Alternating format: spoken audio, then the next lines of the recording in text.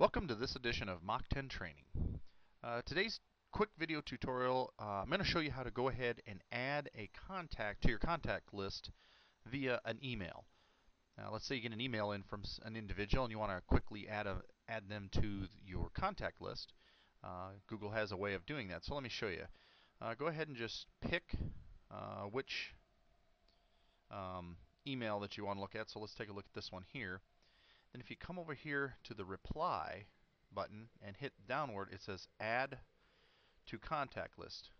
When you do that, the sender has now been added to your contact list. And then when you come over and you view your contacts,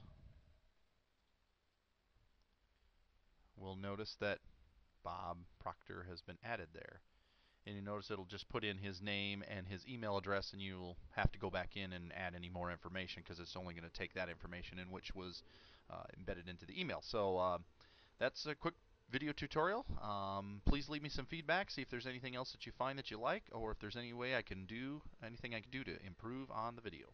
Thanks and have a wonderful day.